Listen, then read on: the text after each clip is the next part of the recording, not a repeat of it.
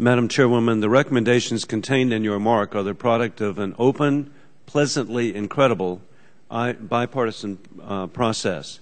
It has been a pleasure to work with you and the dedicated staffs who have helped develop the mark. You've already provided the major highlights, but I also want to focus on some of the most important recommendations in the mark.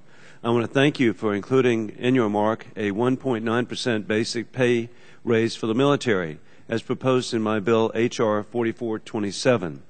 I know that there is growing opposition to increasing the basic pay of the military. I would challenge anyone to find a civilian job that has the same set of requirements and risk as those experienced by our military personnel. For me, the assertion that personnel costs are crowding out other priorities should not be solved by asking military personnel to take less, but for a defense budget that provides both the personnel and other requirements to fully defend this nation.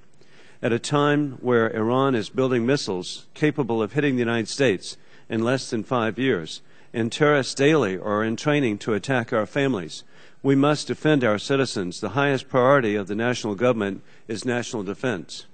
I'm also grateful that the committee was able to find a small amount of mandatory spending offsets to allow your mark to include provisions to address reserve component disability retirement issues, to allow for some early reserve to be eligible for TRICARE, and to permit wounded and injured members retained on active duty to earn credit toward early reserve retirement.